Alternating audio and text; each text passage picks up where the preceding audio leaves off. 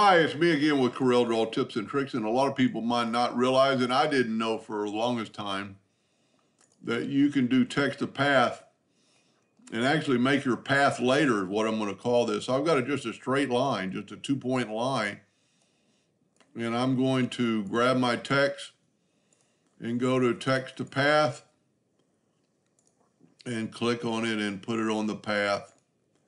Then what I could do is take my shape tool, whoop, and you can do a lot with this, but collect, select on your path and just select both nodes and, and right click and turn them into a curve.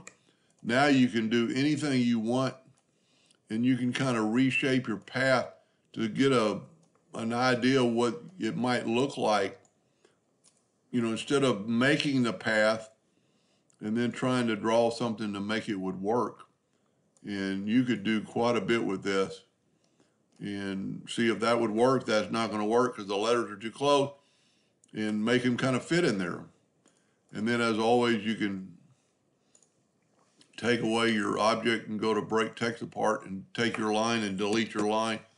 And now you have a new text to path. I hope that helped a little bit. Thank you for watching.